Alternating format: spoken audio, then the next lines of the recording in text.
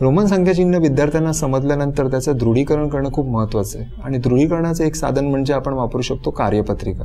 या कार्यपत्रिकेचं स्वरूप बघितलं की याच्यामध्ये विद्यार्थी रोमन संख्या लिहितात सुद्धा वाचतात सुद्धा त्याचं आंतरराष्ट्रीयमध्ये सुद्धा लेखन करतात. आणि याच्यामध्ये असं स्वरूप टाकलं की आपण अचूक पर्याय निवडा. याच्यामध्ये एखादी संख्या ओळखताना रोमनमध्ये चुका होऊ शकतात पण अचूक पर्याय निवडा हा प्रश्न त्यांना नेमकं किती समजलंय याचं दृढीकरण आपल्याला या कार्यपत्रिकेच्या माध्यमातून दिसू शकतं. म्हणजे आपण संपूर्ण मूल्यमापन या कार्यपत्रिकेच्या स्वरूपात आपण त्या घटकाचं करू शकतो. बघितलं आपण आता एक ते वीस रोमन अंक आपण शिकलेलोच आहोत. कसे लिहायचे काय? आता आपण काय करूया छोटेसं म्हणू शकतो की आपण एक कार्यपत्रिका म्हणजे आपण काही अंक दिलेले आहेत ते लिहितात कसे ते वाचतात कसे आणि आपण कसे ओळखायचे? त्याचा छोटासा एक अभ्यास मी तुम्हाला देणार आहे. दोन कार्यपत्रिका आहेत. त्याच्या सूचना मी तुम्हाला सांगेन. दोन कार्यपत्रिका आपल्याला काय करायच्या आता? सोडवायचे. पहिल्या याच्यामध्ये मी थोडक्यात सांगतो तुम्हाला की तुम्हाला आंतरराष्ट्रीय अंक जे आपण बघतो ते दिलेले आहेत. बाजूला रोमन संख्या. जिथे ब्लँक स्पेसेस आहेत म्हणजे रिकामी जागा आहे तिकडे आपल्याला काय करायचं आहे? रोमनमध्ये लिहायचं असेल. आणि त्या वाचतो कशा आपण? म्हणजे वर्ड्समध्ये आपण कसं लिहितो? त्या शब्दामध्ये लिहायचं आहे. आणि दुसऱ्या याच्यामध्ये काय दिलेलं आहे? आपल्याला अंक दिलेले आहेत. बरोबर? आणि त्याच्याभोवती आपल्या तीन पर्याय दिलेले आहेत. म्हणजे या अंकाला कोणता पर्याय योग्य असेल त्या ठिकाणी आपल्याला काय करायचं आहे सर्कल करायचं तुम्ही प्रयत्न करू शकाल का? हो. ओके चालेल. दोघांनी सोडवायला सुरुवात करा.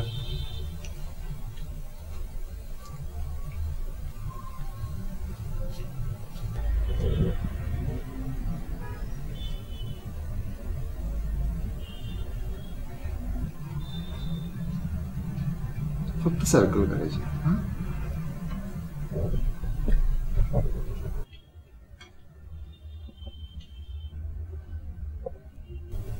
झालं तुझी पण मला दाखव. मला सांगा याच्यामध्ये आपल्याला तुम्हाला कोणता अंक असं लिहिताना असं वाटलं की थोडासा बदल झाला आहे असं? म्हणजे कोणते अंक लिहिताना असं थोडासा विचार करावा लागतो? मला वाटतं अकरा नऊ. नऊ लिहिताना. आणि कोणता अंक लिहिताना विचार करावा लागतो? चार. अजून कोणते अकरा ते वीसमध्ये अंक असा?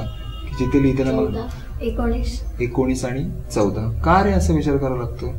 असं मी विचारलं लिहिताना आपण सगळं बरोबर लिहिलंय. तुम्ही सोळा बरोबर लिहिले सतरा बरोबर लिहिले अठरा. पण चारला लिहिताना विचार करतो ना आपण थोडा? का का विचार करतो आपण?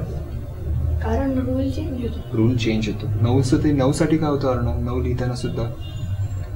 रूल चेंज होतो. आणि चौदाला सुद्धा काय होतं? रूल चेंज म्हणजे असं म्हणू शकतो का आपण? चार चौदा. पुढे मी चोवीस म्हटलं असतं चौतीस. चोव चव्वेचाळीस चौरा चोपन्न या ठिकाणी काय होत असेल रे?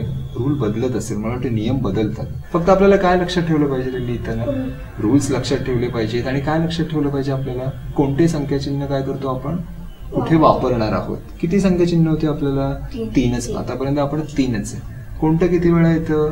आय वापरू शकतो. व्ही आपण किती वेळा वापरू शकतो? एकदा. एकदाच. आणि एक्सच्या बाबतीत आपण बघितलं नाहीये. म्हणजे आपल्याला आता याच्यामध्ये आपल्याला काय दिसतंय? एक्स आपण.